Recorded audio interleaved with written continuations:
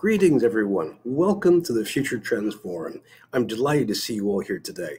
We have some great guests and we have a fascinating subject, and I'm really looking forward to our conversation.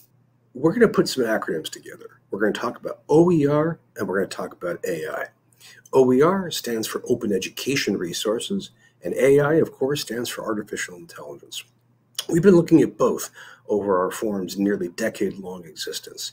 For a long time, we've been looking at how institutions can create, support, use, and sustain open education resources, and we've been looking at the intersections between AI and higher education.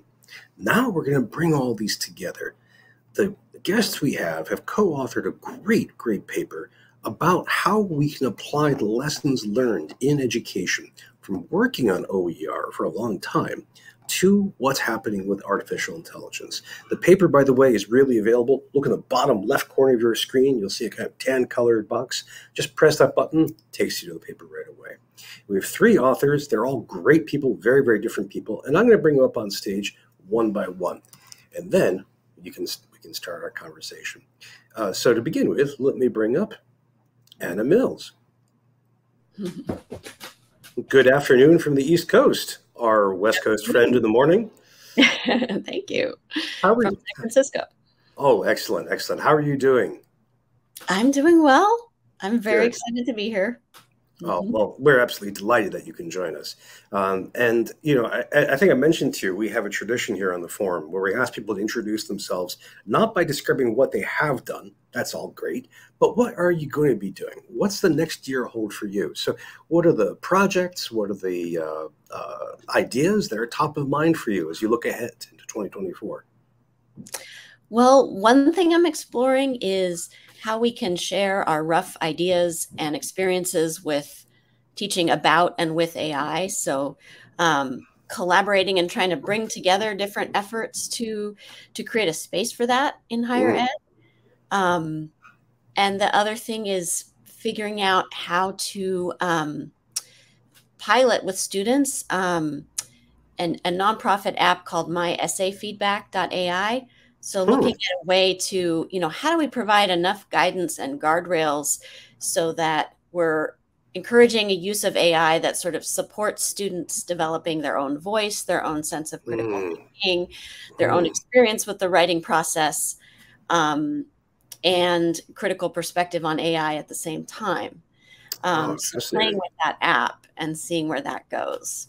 Oh, I'd love to see that. That, Yeah. that sounds really cool. And for, and for the first project, what kind of space are you thinking about? Uh, you know, an online venue or something like that?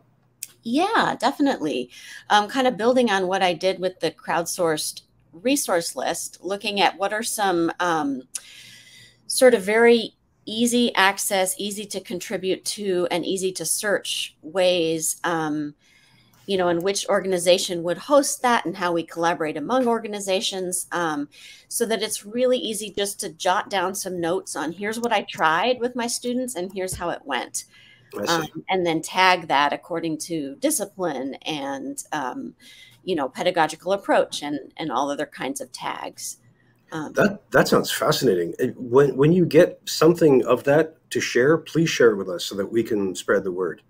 definitely i will thank you Very good. Very well. Well, hang on a second, and I want to make sure that we can uh, bring on board your co-authors. So stay tight or sit tight, and we will bring up your colleague Lance. Hang on a second. It's a misfire there. I was a little dramatically going to bring him up there, right? And now, so Lance Eaton, welcome, sir. Hello, so happy to be here uh, with uh, obviously Anna and Maha, yourself, and all the wonderful folks here. Well, there, there's there's two great things. One is that you're with College Unbound, which is an amazing, amazing institution, and the second is you have a beard, and of course that makes you you know privileged among you know all, all guests. Uh, where are you? Are you are you in uh, Rhode Island with uh, College Unbound, or are you elsewhere? Yeah, I'm in I'm in Rhode Island, Providence. Um, College Unbound is primarily in Providence, but we now have iterations in Philadelphia, Camden, Chicago, and we'll have like two more cities probably within the next year. Wow, Camden! What a great idea! Oh Mm. wow. Well, um, and I love Providence, one of my favorite towns. As a H.P. Lovecraft fan, I have to go there and look for tentacles and things. But, but I have to ask, what are you working on, Lance, for the next year? What are the big projects and the big topics for you? Uh, and a few friends in the crowd know this. Finishing my dissertation is number one. Yes, uh, right. Yes. I'm I am close. I'm in the finishing the analysis phase. Uh, outside of that, there's um, continuing some of the work I talked about in the article itself where there's a couple of the students that I'm actually working with and we're still I mean it's been months now we continue to meet like bi-weekly and are writing uh, some things based upon what we did around developing policies around generative AI.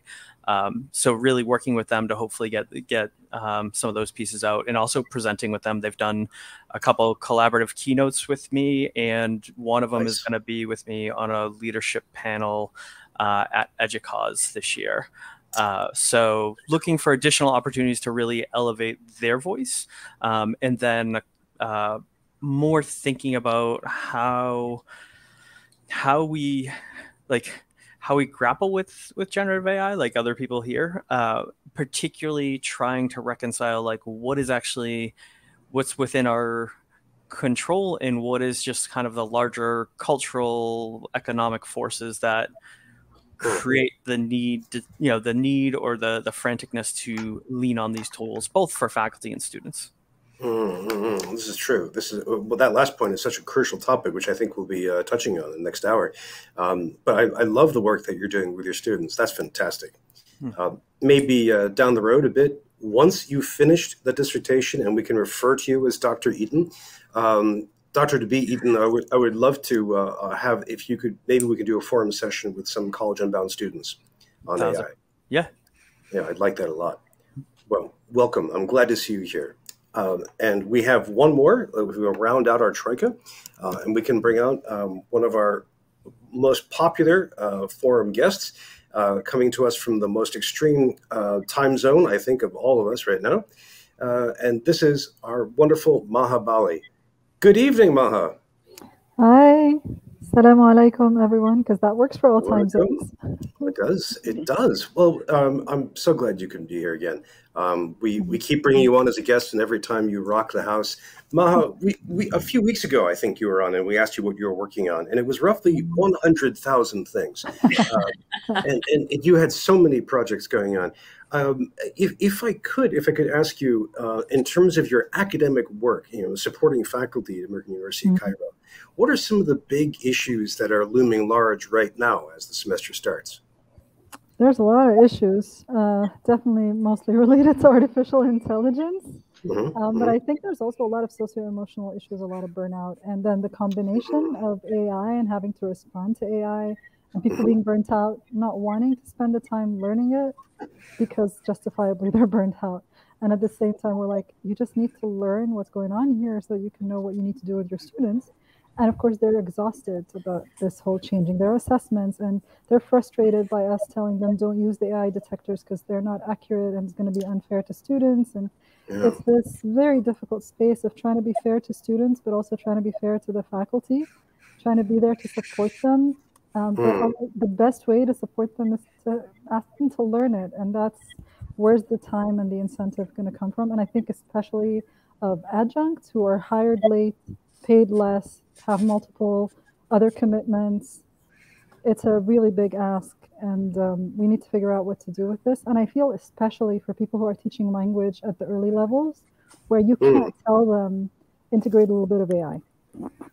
They're not going to be able to meet their learning outcomes. They really need to teach these foundations, and all of a sudden they have to do it differently. It's it's a lot of pressure on them. And you know, no matter what kind of ethical um, concerns we have about AI, ethical objections, uh, no matter how much we try to teach uh, critical AI literacy, explain to them about the biases and all that, the students are still not all mature enough to stay away from it when they need to, even when it's for their own good. Mm. Um, so we're all about trying to figure out how to make them use it and still learn, um, or let them use it and still learn. So that's that's where I'm at on the academic side, but also really, really trying to get people to remember that in most things, unless you're teaching language or writing, the learning is not the writing. The writing is a representation. It's not we we are learning and then we write to represent that. There's so many ways to keep representing it in different ways as well as the writing. So that if AI is going to help with the writing, make sure that the actual thinking is happening outside of the AI. make sure that you're having conversations, that yeah. kind of thing. Make sure they're having an authentic learning experience that they are writing about, in which case the AI won't be able to write it. And I'll tell you the crazy things later that I'm trying to do in my class to make sure that the AI can't do it. So, oh, which uh, which class? So I teach a digital literacies and intercultural learning class. Oh, right, right, right, right. So one of the things I told you about last time is that my students are going to go out and teach students in schools about AI and some of the other socio-emotional learning stuff that we learn in class. And then they're going to reflect on that. And there's no way ChatGPT knows what they did in the schools. So I hope those reflections will be authentic. And the other thing that is a very strange thing that I'm adding to my class this semester is we're going to adopt a little plot of land on campus, which is something I've been doing myself. I'm going to involve my students in it so that they're actually planting and following their plants and weeding and harvesting the plants, which you would uh, think has nothing to do with the class. But I'm going to make it have something to do with the class related to community building and socio emotional well being. But also, how can you use AI to help you identify what is a weed and what's not a weed, and how do you use um, social media sure. to learn about planting, and how do you use social media to let other people know about sustainable farming and to learn about these kinds of things. So I'm, I'm trying to make it work. And also, the AI can't write about this, I hope. And I hope they get a good learning experience, even if they end up using AI, you know? Well, it's a great project. I, I can't wait to see that. Uh, personally, I think that kind of biophilic design is just is just excellent uh, and a, and a and a real win. Um, Maha. Did you just call it? Biophilic? Like love yes. of nature? Does it mean love of nature? I'll put this in the chat. Ah, I like that. I'm going to teach them a new word on Monday for uh, Yeah, if uh, there's uh, at least one uh, consulting business that just does biophilic design for education. Um, the uh, Icelandic musician Bjork is a huge fan of biophilic design. Uh, really? yeah, it's. Um, I mean, the simple idea is just including as much bio, you know, as much life into into design as possible. So, you know, plants, animals, nature. Yeah, it's. Uh, I mean, Thank I'm you. I'm coming to you from a room right now which is enclosed. Uh, it's an interior room, so it doesn't have any windows. Um, all I have is the built environment around me. So biophilic design would say, you know, introduce windows, uh, sounds, sounds of the outdoors, um, you know, colors, more green, for example. Um, I, am not doing enough justice. Take a look because I know you have plenty of time to research an entirely new topic. Um, all, all, all, three of you have done all of us uh, a great service uh, with your with your uh, with your article about OER. And friends, if you're new to the forum, what I'm going to do is ask our, our great guests just a couple of questions to get things rolling. But what I would like you to do is I'd like you to think about the questions and comments you'd like to put forward. So as our guests respond, and, and, as you reflect on their responses, please think about the questions you'd like to ask. And again, please use the chat box. But best of all, either if you have something you want to say out loud, ready that click you click that raised hand, or uh, put it in the Q and A box. Uh, so my, my first question is is you know the open education movement we can date this back maybe 20 20 plus years uh, this is a long time of many many educators of, of all kinds librarians faculty technologists and so on doing lots and lots of research and also lots of production uh, we've had companies, nonprofits, and just tons and tons of open education content available in multiple media, multiple formats. That's a, I, I think it's a brilliant move to tap that body of knowledge uh, for thinking about AI. But what what are a couple of the, the, first connections that you made when you started drawing these two connections uh, together, these two bodies, the OER and AI? What are a couple of the first connections that occurred to you? Was it economic sustainability? Was it trying to uh, come up with the proper technology? Where did you start? And since there's three of you, um, one of you gets to jump in, um, or if all of you fall silent, I'm going to pick on Lance. I'll say something really quick um, because Anna approached me first to start writing about this, and she had a particular angle, but we expanded that angle to not be about OER. It's about open education and open educational practices. Very so it's good. not about OER. So OER is like textbooks or open materials, but we're talking about open practices, as in the communities that we've been building for all these years that have supported mm-hmm. each other in there this moment of a shock of uncertainty where none of us knew anything. So there wasn't like an expert to go to that had a book. Well, there were, but you know, it wasn't enough. Hi, Brent. I see you. Um, but there are experts, right? But they weren't expert on this moment with mm-hmm. this technology, with that level of expansion, with that impact. And we all supported each other on social media, Twitter, Instagram, TikTok, all of that. And so it was about the communities and the people and the processes of sharing with vulnerability because you're not sharing a ready-made book that's perfected and edited and everything. This is like, I have no idea how to cite AI. Shall I do it this way? Oh no, that's not a good idea. You know, and being willing to do that. So that's to me, that's the angle that I think is the key thing here is yeah, go ahead, Anna. Please, thank you. Yeah, I I love that. And I think that the the big learning that I had in the process of working on this paper with Maha um, and Lance was that, you know, I had come to it from I've written a textbook on writing that was OER, and that was a revelation because I could adapt other people's materials and I could share my own, and other people could adapt. And I worked with 14 collaborators. We were writing together and annotating, and and I'm continually adapting it based on student feedback. So there's this sense that it's it's very rapid, organic, flexible uh, and that potential you know could be applied to ai and was very much needed.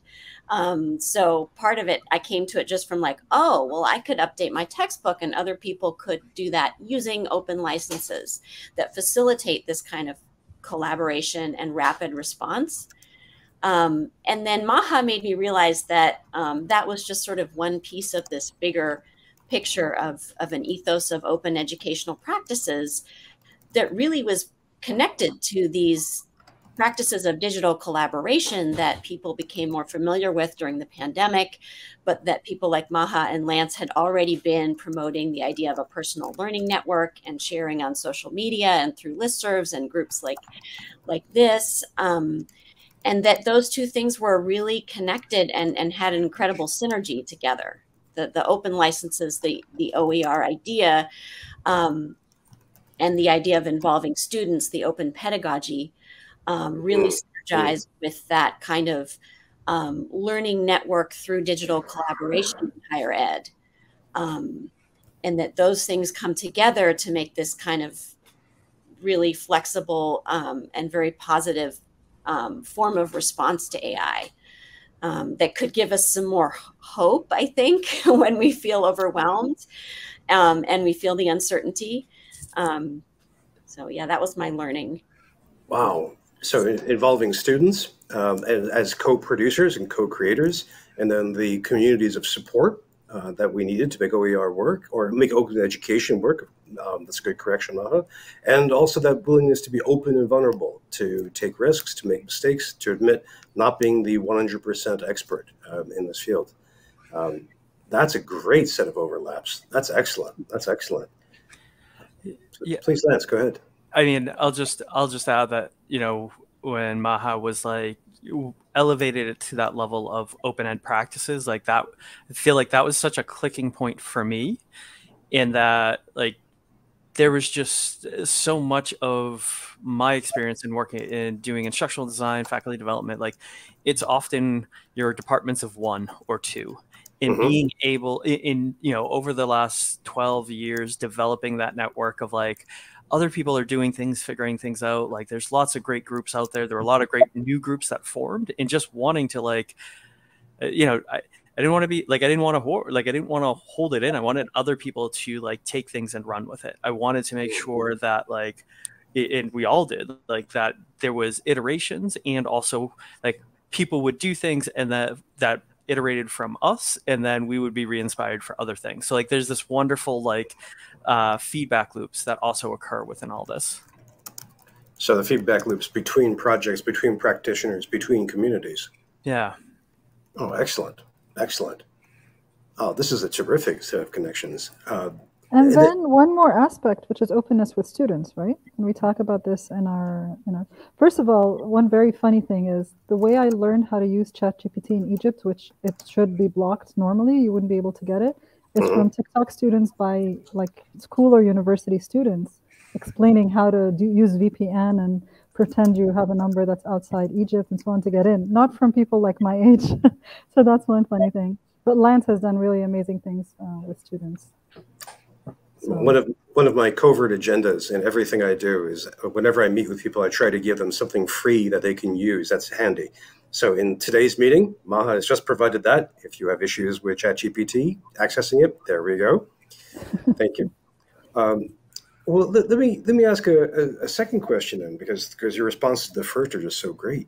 Um, what what are some of the ways that uh, we can think about AI of all kinds as enterprises? Um, that is, as a college, a university, a public library, a system, as they respond as an entity. I, I was really struck, Lance, by your point about being a department of one. And you know, I know this feeling very well. Uh, I think many people who are involved in this conversation know that feeling of being just you know, one person making a decision, either in support or in practice or creation. But what have we learned from open education about how entire institutions respond as an enterprise and how that can apply to how we engage with artificial intelligence?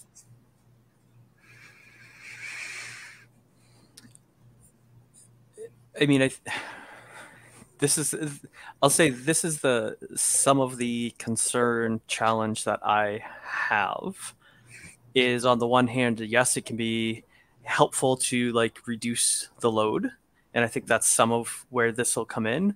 But i also see it as like it does now. But in five years from now now we're all needing to use ai doubly more like they're doubly more to produce twice as you know to produce three times as much. Like i think that's a thing i'm i'm worried about as it gets to that enterprise level at organizations is yes it will help us and yet like when we start to take on bigger ta- because this will help us effectively finish or, or do tasks quicker or sooner then the demand is for us to do more quicker and sooner. So you know the way i described it is like mm-hmm. you know oh maybe you only had to do like you know that that like quarterly report and now it's going to be a weekly report right? Like because now they you have these tools. And so there's a there's a bigger demand on your work and so we don't really it, this is the thing. It, I, I worry about our system as it is because it won't solve for like making work less stressful because the new bar will just be set as you're doubly or triply more productive. Um, and that's like, I know it's not exactly answering your question, but it's it's the thing that I worry about is like if we are already burnt out, we're already feeling all these things like. Mm-hmm I'm not hearing anywhere where it's just like, oh, like this will mean we can slow down a little bit, or like feel like, or trust that that will happen.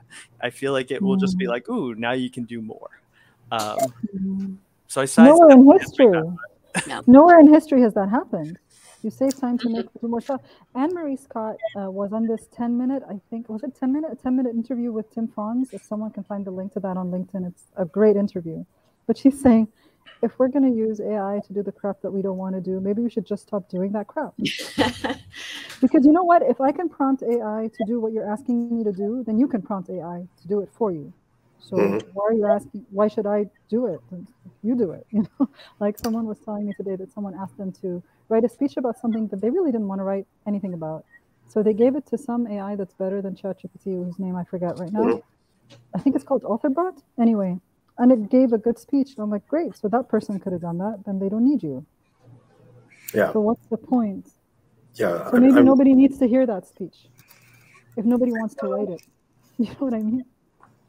Well, that's one model for working with AI, but but another would be the augmentation and sort of dialogue and using it to push our own thinking and to develop our own ideas. And that can be a gray, murky area between that uh, and letting it take over but there there could be ways to work with it that are not just um, where we have a sense of the intrinsic meaning of what we're doing, but we want a sounding board or we want something to speed up the formal aspects of the process. Um, and I mean, that's what I would want my students to use it for if they use it, right? Um, rather than just to um, automate something that's not meaningful. Um, but we've already seen that uh, academic professionals of all levels um, are ready to do that, um, that very thing. Um, that and that and it might be something that we shouldn't uh, have to do. Um, but I, I, I, think we, I think, Lance, you raise a crucial point. There's a there's a principle from uh, social science called Jevons paradox, which is where when you make something more efficient um, or easier to use, people use more of it, and it stops being so efficient. Um, so, you know, if you have a two lane road and you make it four lanes, well, you think this is great. There'll be more free space. Well, more people will drive and it fills up again. Um, so, you know, if we have the technology to make us more efficient, then we'll continue to be used, which brings us back to the questions of overwork and stress that you've that you've been addressing. Um, please go ahead. So I, I, I am on that side. I think I do, I certainly agree with Anna as like as a collaborator, like like my partner. I see her use it in really great creative ways. Exactly that as a thought partner is trying to like think through things or like gather initial understandings around things uh, or topics she's exploring and the like. Um, and I think that's that's kind of like the that I feel is like the aspirational space I, I want to be in and really seeing and thinking about like the ways it you know, in talking with my students, like there were some great ways that they made sense of it. And they were like, oh, this has been helpful. I, you know, I had this one student, she was great. She was just like, I took, I took ChatGPT, I threw my notes into it to organize them. And she's hmm. like, and, you know, people will be like, well, she should be able to organ- organize her own notes. And like, she's she's 30 plus years old she understands who she is and she's just like i can mm. like i can try to do that or i can just do this and be further along in the process to get that paper done or, or things like that so mm. like i think there's there's a lot of those types of wins that feel really exciting mm. um, and i like I, I think that's part of why i wanted to do the course and it's part of why like i continue to like be in conversation with students because we can learn those things um, and see how they get implemented in different places of work like even for myself and this is where i think about like helping faculty or institutions look at it is like there are just some things that like oh that's so much easier. You know the givey the the the, the simplest thing that I, like when talking to faculty about it, I'm like we all have to do at the beginning of the semester we've all done this probably in the mm-hmm. last few weeks. We pull up the calendar and we toggle between the calendar and like writing the dates of every Tuesday or whatever days we're, we're having class or you can mm. just ask ChatGPT to generate that list. So like there's lots of those the mm. I see it as a task minimizer. Like those things that like we need to do and we can take it from 10 minutes to like 1 minute. Um, and I think there's lots of values offered at lots of different parts of institutions and organizations for that. You inspired me to also add something about like what kind of tasks can be equalized when we use AI. So one of the things, I don't know if I've said this before on the forum, but I'll say it again. Mm. If you use AI to help you summarize a reading, so Bing allows you to summarize a website or typeset.io, I think will allow you to upload um, a peer review paper or something and ask questions about it and it will answer them for you. And that is very useful for especially non-native speakers. In that faculty in my institution, which is mostly in English, will give students sometimes readings that are jargony and above their reading level, and they're not willing to write to give them something that's less. And the students are not going to understand it better just because you're forcing them to read it. That's not going to happen. Yeah. And so those things will make those readings more accessible to students without asking faculty to, to assign them different readings. And at the same time, it's not anywhere near the area of plagiarism as long as you're not asking students to summarize for their assignment, which is a meaningless assignment, really, unless you're teaching them the, the actual task of summarizing. So then they understand the reading, and then they can actually have a good discussion with you. Hopefully, things like Bing and that kind of AI is not hallucinating in the way that ChatGPT does. I'm hoping. I've tried it on papers I've read, and it does help. And it helps me too as a, an academic, right? I, I usually skim read. Maybe people will lose the ability to skim read, and maybe they mm. will lose out on some details that are important because Word used to have an auto summarize function that was like 80% good. You know, it would miss out some things. Yeah, but yeah. if you're not a good reader anyway, you're going to miss out some things when you're reading anyway. They might be different things than what the AI misses out on. But I think for non-native speakers, this is the difference between reading it or not reading it at all. So if you get 50%, that's already you've gotten somewhere, I think, and that matters. Maybe, the, maybe this becomes a new process where people's first mm-hmm. experience with something is the AI summary of it. Uh, mm-hmm. Uh, and then when they want to go back to it to really, you know, dive, dive more deeply into it, then they yeah. actually pick up the text themselves. I mean, when I was doing my PhD, I would read the book reviews about a book before I read the book. Now, yeah. this is a more critical aspect of it that was also helped me be critical of the reading. But you know what I'm saying is like we all have shortcuts that we use that are actually smart and not um, and help our learning. So it's about trying to find that space. I'll, I'll add to that two things. One is like even you mentioned you know non-native speakers, but even native speakers. Like, I mean, it took me ten years to read Foucault. history of sexuality. Like I might as well have learned French and try to learn it that. Like the only reason I got, the only reason I got through it was an audiobook. And yet if this tool was around, like it could have helped me so much more like in the class that I was actually taking it. Um, so I point like I, I highlight that as a like that's a that's a really good value added to this is like that being able to really find out because you're like if you're taking a class where Foucault is is that like in the conversation, you know there's people in that class that like are in love and can read Foucault in 15 different languages, and you're gonna feel like like a fool just to, to even ask like, am I reading this right? Um, that's my signal of like reading it upside down or whatever. Uh, so there's that piece, and then again back to the the teachers. Like the thing I like is like it can be the like infinite example generator right? Mm. So like we love getting a student's paper that's a really good you know example and saying like hey can i use your paper for like i want to use it as a great example but we're never going to ask a student who writes a bad paper as an example of a bad paper like that's bad form but we can have like we can mm-hmm. have this tool create these types of examples like a range of what might be good and bad examples for us to use to help the students understand like oh like what's you know what's a right way to do this and what's a way that probably isn't going to go well. Uh, so i think those are other ways at least within the like the teaching space that i find it really exciting. Interesting Oh, this is this is terrific. I, I'm I, I I would ask you more questions, but you were all so good, and we have questions that have come in from the audience, which is what we're really here for. Uh, so let me um, let me just bring up the first one from uh, Kirsten Helmer, uh, and this is a really really good question. Comes back to something we just started talking about here. Um, the uh, would you say the ethos of open educational practices has always been challenging the idea of authorship and intellectual property? And now AI is pushing us to develop that further. Speaking of Foucault, though. Oh my gosh.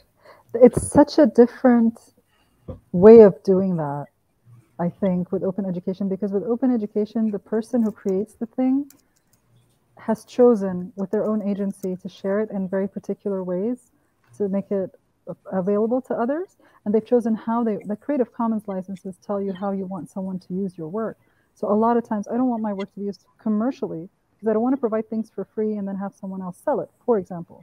But AI is, you know, one of the things, I, this is one of the things I really don't like is if we tell students to cite that they've used AI somewhere, they can do that, but I don't know where AI got it. AI synthesizing stuff from all over the web. And I remember this very particular thing. I was asking it about white supremacy culture, and it said something. And there's a very particular author, Tema Okun, and her co-author, who wrote that. And I asked AI, so where'd you get that from? No idea. I'm an LLM, I have no idea. And I say, so who's the person who writes about white supremacy culture? Oh yeah, Tema Okun. But it won't directly tell you where it got anything from. Sometimes it's like synthesized from all over the web. So it's like intro psychology right. stuff. Of course, it's not one person, but something like that's very specific to that. So where, and so that's the problem. And of course, the way it affects uh, people like, you know, the visual AI and the effect on artists is, is truly problematic. And then oh my god the deep fakes with people's voices and singers and anybody being able to create a, a song with someone else's voice. Like those things are are really problematic and dangerous and can be used in very harmful ways and have been used in very harmful ways right? And then i'm thinking about how am i going to teach fake news now going forward with all of this. So i've gone a lot quite far away from the question but because i think the ethos which is it ethos? I always thought it was ethos of um, of open education and and the authorship and making something open is completely different. There's it's about permission, and AI did everything without permission, right? So I think that's uh, mm. Thank you. Yeah, Please. I mean, I think we can. You know, it's it's not over when it comes to the question of AI and permission and labeling of data sets and who has the rights to the outputs. Um, and how transparent the algorithm is and all of that. And and so i think that we can we can take some lessons about that kind of transparency and labeling from the development of oer um, and and hopefully push for that. I mean that's really building on these fundamental academic values about citing our sources. Um, and that's that's an open question for for policy and and democratic oversight of ai um, so I'm, I guess I'm a little more hopeful, or I want to have more hope about um, um, about being able to use AI and label when we've used it and have some and have some way to trace back, um, get more information about how it created the output um, and whether it had the rights to and all of that. I probably have the more, I'll go with extreme view on this. Um, and I, and I, will preface this with like my dissertation is focusing on academic piracy and how scholars make use of places like Sci-Hub and LibGen. Yeah, yeah. And I have a very, very challenging relationship with copyright and kind of how and where it exists today. Um, where like we still can't get like there's stuff that's still not in the public domain from people that died six like Hemingway stuff. Not that I like I'm trying to hold him up, but as an example, yeah, yeah. is still is still paywalled, uh, more or less. And so like there's a way I see like the open education OER movement, open access movement, you know, was this like has been this like groundswell, ground up approach to really trying to address that and trying to change that. And I like I love it. I live it. I all of the stuff that I do, I put into, you know, Creative Commons licenses. Even when I like do talks, I'll make sure the text gets up on my blog, which is Creative Commons license. So like I am fully there. And I'm like there's a part of me that is just um I keep wondering like how do we fix this thing that feels like solidified in terms of the way copyright stands and what its original intention is? And there's a way i wonder if ai is going to blow it up in a mm. way that could it, it like I can see it going lots of different ways, but could it blow it up in a way that we're back to like rethinking it and maybe renegotiating what the terms are? Because it just feels so out of proportion of mm-hmm. like 70 years after the author dies and that's largely for the benefit of the companies not the individuals or the family uh, of the the creators um, so for me there's like a is this like is this the thing that like breaks that um, in a way that's helpful? Outside of that i will go back you know i, I 1000% endorse or like have those same concerns that maha brought up around like how it can be misused how it can be exploiting lots of people mm-hmm. in lots of different ways. But like there's also a part of me that's like oh i would love it if this shattered the, our contemporary approach to copyright well, it sounds like we're just helping you write your dissertation, um, I, I, or or we're making it worse. Uh, I, I, hope at least the former. Um, Kirsten, what a fantastic question, uh, and and the three of you each taken different angles of, of, approach on this. There's there's a lot to it. Thank you, Kirsten, and thank you, the three of you. We, we have more questions coming in, which is just as always delightful. Um, and this is one that uh, goes back to the question of uh, sustainability. I think this is Guy Wilson. What concerns do you have as educational tech companies add more generative AI features? Will this lead to less flexible approaches? Will it be just more of the same rigidity as we've seen from them?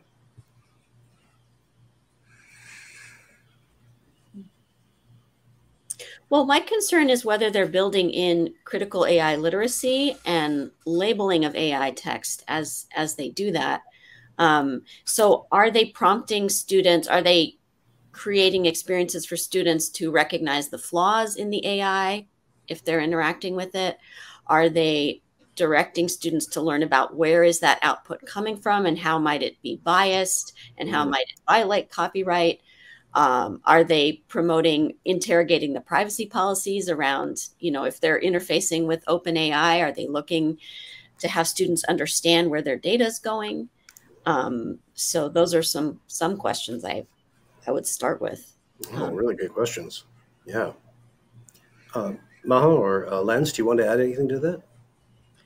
Uh, I, I mean, I have a general default skepticism of uh, ed tech companies just because of the like the ways they many again this is not all um, but many of them you know offer up or, or you use student data you like use that as part of like the labor that the, or use student labor as part of the ways to improve or make the, the product more connective the ways that you know and i think about some of the the publishers who are now like ed tech companies who like it becomes an there's no cheap alternative um, to ebook or all the extra stuff that comes with it. Um, so, like in general, I have that skepticism. So, them rolling in AI makes me more concerned. And then the other piece is how much more those things get created that then get sell. I mean, and who was it? Um, forgetting the the woman's last name, but first name was Taylor. She's done a couple a good series uh, in Chronicle of Higher Ed around like courseware. And my concern is around how much yeah. courseware increasingly takes away student agency or student and, and instructor agency as um, it becomes required or becomes you know licensed or things like that. Um, so I know I'm more talking in general than specifically AI, but I just feel like AI will again up and like increased those concerns that I don't feel get well addressed in in mm-hmm. higher ed. And sort of speaking of agency, will people be able to opt out? Because a lot of this stuff, AI stuff, is introduced in stealth mode, and you just find it there, and nobody gets to say they want to use it or not use it, or recognize that it's even being used in the first place. So I think that's uh, that's an issue.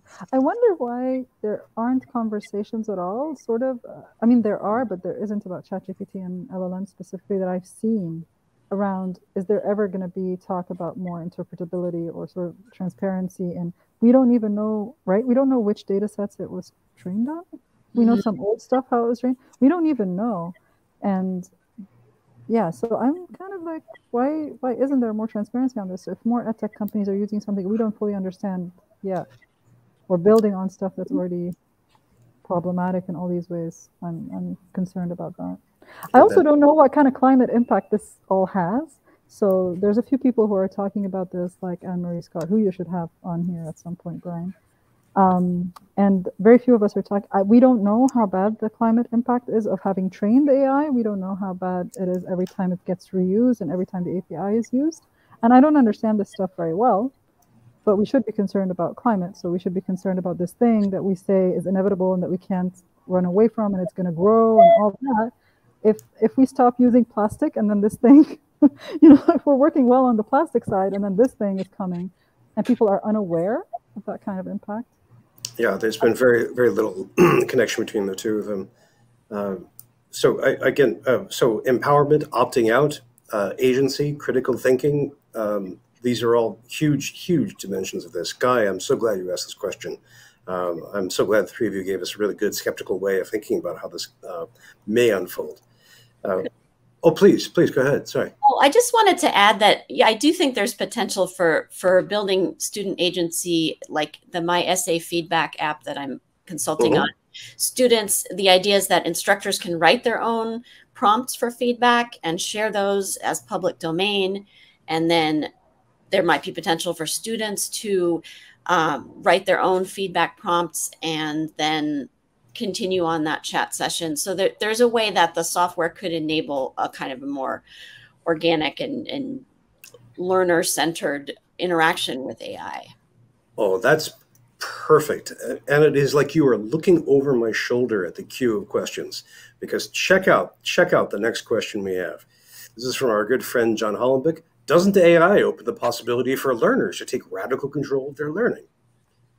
Uh, and so I, I, guess I mean that's that's a question we can think of in general, but also to see how that connects to open education uh, and the aspects of student empowerment that you all discussed. I mean, yes, with a caveat, right? Of like taking yes, if it can be to the degree that it can be reliable, mm, mm. and I think that's one of the the challenges is if you if you are not if you don't have some working knowledge of the area that you're exploring it's not always clear that you're actually getting the right information the, the, the right knowledge and understanding. And so yes if we are training them to you know if, if we are making sure they have the develop those critical ai literacy skills i think it can do that and i think that's part of as i said about my partner like I, I, watch her use it in really smart ways and like she knows not to trust it and also like to elicit really complex thinking and ideas that like she is in conversation with. Um, I like part of what I like about it, and I've, I've said in some spaces is like it can be a tool that like unlocks the hidden curriculum of the world. Um, mm. As I think about, you know, the, the example I always go to is the cover letter. You know, the mm-hmm. cover letter is the most BS piece of writing we all have to do. The like, what right like what you have to, so much of the the rhetorics of that that thing has very little often to do with the job you are applying for but like there's all these like gestures you have to make in that cover letter so to me it's like wow you know having something to help you get through that um, feels really great really powerful. And like yes can help somebody learn of like oh this is this is if i'm going to tell my story in the role of applying for a job like this is this is how that should look. Mm in you know i think about that both for like uh, multi-language learners i think of for people that are uh, neurodiverse i think for people who just look at a blank page and want to cry um, that this gives lots of those spaces too and, and can be really powerful. Um, but i just i think there is that that challenge of know developing the skills to know where and when. Then i think there's that conversation for for increased learning and increased being able to like use that in lots of different spaces to, to build one one's engagement with the world better. And from when we talk about tying it to education like one thing i'm always thinking about is open educational or open pedagogical practices and really thinking about how how making sure what we do in the classroom is something they can take with them outside like outside the world or like the assignments have meaning beyond just like checking a box or like getting a point but are yeah. applicable and usable elsewhere so i see it mm-hmm. tied in well with that as well i'm trying to compare this uh, concept of learning with and from AI with other things that we had before that gave learners a lot of agency over their learning, right? And you just mentioned open educational practices, right? So What's the difference between me asking a question to ChatGPT or asking it publicly on Twitter or X or whatever it's called now, or Mastodon or wherever, right? Mm-hmm. So I might get the same answer from Lance and Anna's answer. Maybe I'll get an even longer answer from ChatGPT. Possibly, if it's something that's been talked about a lot before, I'll probably find something meaningful from ChatGPT. But when I asked Anna or Lance, I actually made a connection with another human being, and that connection becomes a relationship. And there's so much more to it than the answer to the question. It's not an instrumental interaction. It's not just a technical uh, Q and A. You could have asked that question on Reddit. You could have checked Wikipedia. You know, those are all different ways we were doing this. We could have checked the internet. The difference between the internet and Wikipedia and Anna or Lance is that I can check the credibility of Anna and Lance well, who are these people? Do they really know what they're talking about? I can check out what else they've said before. Yeah. Checking out what ChatGPT has said before doesn't really help me know its credibility. Wikipedia has editors now.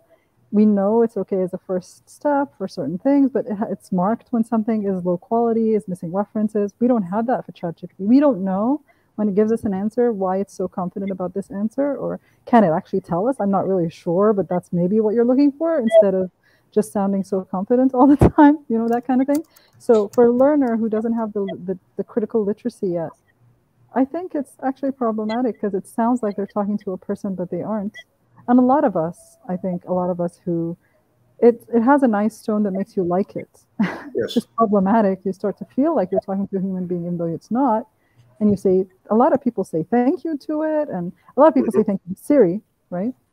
Yeah. So there's and I always think there's an element of focusing on learning as knowledge and not on the socio emotional aspects of learning. And even if I know there's affective AI, and a very good friend of mine is one of the leaders in affective AI.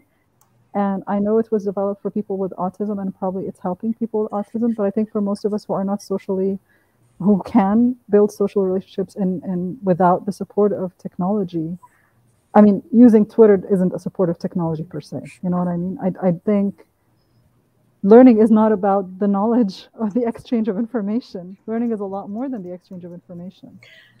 Yeah, I, we, but how do we build in that sense of learning happens in relationship, and relationship is key to learning, with the the possible uses that are exciting to students um, in education? Like, how do we mm-hmm. allow those things to coexist and and not take away and have AI not take away from relationship and learning?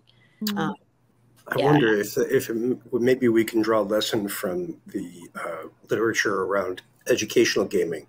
Uh, and one of the lessons is usually that games can be terrific pedagogical objects. They can really, really do a lot, but they really need an instructor to help make them actually really shine and to really work.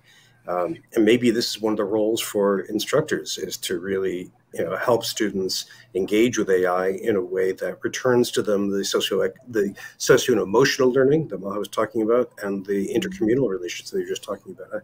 I, I'm, I'm we, are almost out of time, uh, and we have so many questions coming in, and I want to I'm going to forward them the ones that we don't get to, to the three of you because they're really good. And I want to have a chance to ask us one last question because this one ties up to what you were just saying just a minute ago.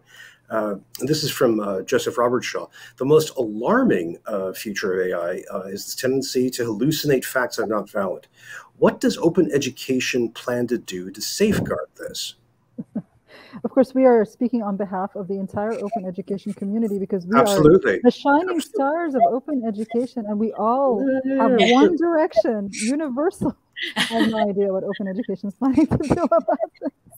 That's a really tricky question. but it, it, this has been a, a, an issue with uh, with open education. There's quality control, um, and there have been different ways of doing it. Uh, you can think about Merlot with its rating system, for example. Mm-hmm. Um, and then lots of conversations and trying to convince faculty to use OER in different ways. Mm-hmm. Um, but you know, what, what kind of how do how do we apply that that heritage, that practice, to AI's lamentable problem of making stuff up? Well, I think what we need to do is, is is that critical AI literacy around how language models work. There's a fundamental structure there that creates plausible rather than true outputs. It's designed for plausibility, which lends itself to fabrication. I don't I don't think they have a solution to that yet. There are some sort of workarounds and um, you know, we can teach the workarounds and emphasize that. But I think, you know, we want to have students have that experience of seeing where it's making something up and seeing how it's disconnected from experience and reality and a search for truth that's still a very human process. That's how I see it. Um, uh, yeah, I, so many thoughts. I will try to keep them concise. Um, I, I guess I would say within open education, or there, there's something about like I want I want to call I want to call bullshit on like this idea of like the worries about data or about um, about quality control in open education being something that's like more of a problem there than elsewhere because we have mm-hmm. also transparency and we have the ability to edit and update in a way that like there's all sorts of things in traditional publishing and producing of knowledge that we don't right. Uh, like uh, so I think there there's a there, there continues to be this like mi- misalignment or mis uh, maligning of of open mm. educational practices. And you know i think the the piece about ai and and um, it's it's hallucinating which i don't like that term but it's just presenting information that isn't accurate. Like it's part of the critical uh, you know it's part of the critical um, ai literacy but it's just in general like literacy. Like it's just uh, like critical literacy of like there's plenty of things from like non AI generated stuff that should be questioned and wondering about the truth of. And you know, my a good glaring example, and this it's a couple of years old, but like when you have textbooks in the United States that are framing uh, enslaved people as like as immigrants that were that came here, like that like that to me like people can say well it's technically true and i'm like it, it is not um, and so that like I guess it's like that is something we always always have to figure out and fight with. And mm. we we had students presenting us with wrong information well before this. Mm-hmm. Like that's always like how many there's nobody here who's taught a course who hasn't had students present wrong information that they got from somewhere. And so I understand it and yes it feels like it's much more exponentially challenging, but it's mm-hmm. no different. Um, and I'll just go back to you know Autumm Caines who's a friend of several of us and and wonderful thinker in this and like she just go you know her one of her latest blog posts was like you know, what's going to help us with this is good pedagogy, right? Like, like the same things that worked before generative AI are going to be the same things we should be leaning on as we're we're in this. Mm, nice response. Nice response. Thank you. Thank you. Maha, I think you get the last word because we're we're right at the end of the hour. Oh, I was just I was just typing in the chat. Awesome Autumn. Follow her for her great work on this, and it's Autumn with a double M. Yep. And her thinking, it's very. She writes very clearly, um, and and very concisely, and she thinks in different ways that are worth all of us listening to what she has to say. And I also want to encourage people to follow Anne Marie Scott on this. There's a lot of men talking about AI. Listen to the women and what they have to say honestly, and listen Indeed. to people who are outside the U.S. and what they have to say. They'll, they'll they're looking at it in a different way. And one of the problems with AI is that it's been trained on flawed data that is also mainly from a white Western male perspective. And so, and yeah, so it's flawed because information is flawed and epistemically flawed. And, and as Lance was saying, also has a lot of problems with it. So it's just building on that and just doing it on another level. So. Well, that does bring us back to the question of transparency again. And uh, mm-hmm. as you as you point out, Ma, the, the lack of transparency around black box AI versus the transparency that we see in open education. Uh, I, I, I, hate to pause this right now, but we have blasted past the top of the hour, so we're going to have to pause and draw a curtain on this. Thank you, the three of you, for a fantastic conversation. So many great ideas, so many terrific points. Uh, how do we keep up with uh, with all of you? Uh, what's the best way to find out more about you? I know Maha, you're you're on a whole series of media, of social media, from uh, Mastodon, Twitter, and your blog, of course. Um, yeah, easier on my blog since we don't know what's going to happen with Twitter. very good. blog.mahabali.me. And uh, Lance, how do we find you? Uh, I have all my ramblings on my blog by anyothernerd.com. I'll throw Excellent. that in the chat. Excellent, excellent. And uh, Anna, how about you? How do we how do we keep up with you on the West Coast? Um, I just put my Twitter and my LinkedIn in the chat, and very good. Well, and and and I, I would First, I would love to follow up with each of you on some of the different points here because this is this has been terrific. Thank you all for joining us. Thank you for this very powerful article, and um, we hope to see all of you very soon and to follow up with each of your practices. Uh, Anna, please let us know when your two different projects go live so that we can uh, we can share them and learn more. And the same is true for all of you. Lance, good luck becoming Dr. Eaton, and, uh, and Maha, good luck with everything you're doing. Now, friends, don't leave yet. I have to uh, show you where we're headed next. If you want to keep talking about these issues, everything from transparency to ed tech companies to agency to flaws in AI to what we can learn from the educational uh, open educational experience, please keep the conversation going. Use the hashtag FTTE. You can hit me on Twitter there or on Mastodon. We'd be glad to hear more from you on this. Uh, if you'd like to go into our previous sessions, taking a look at AI and open and other topics, just go to tinyurl.com slash FTF archive or uh, go to our website. In the meantime, if you want to go to our website, you can also find out what's coming up next. We have sessions on academic labor, sessions on AI, on how to meet unmet student needs. Again, just go to forum.futureofeducation.us for that. If you'd like to learn more about AI, and you want to hear from me on this, just go to my Substack, aiandacademia.substack.com. And in the meantime, let me thank everybody for great questions. Really, really good thoughts. Much appreciated. As always, it's a real pleasure and a really productive delight to think through these issues with all of you. I hope you're all safe as the fall semester hurdles on. I hope you're all productive and well. Take care. We'll see you next time online. Bye bye.